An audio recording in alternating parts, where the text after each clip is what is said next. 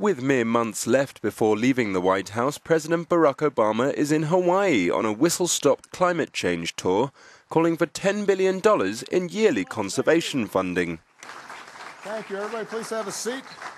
From here, I'm going to be traveling to China, uh, where we'll be meeting for the G20 summit, and climate will be a centerpiece of our agenda. Joint U.S. Chinese leadership on climate was part of the reason that we were able to get Paris done, and I'm going to push to build on that record uh, as long as I occupy this office and probably even after I leave it.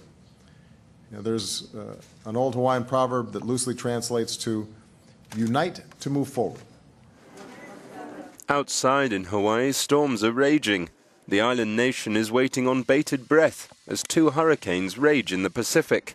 Residents are being urged to take precautions, although the storms are not expected to make landfall on any Hawaiian island. Climate change has often been high on Obama's agenda, and he is not letting his presidential duties slip.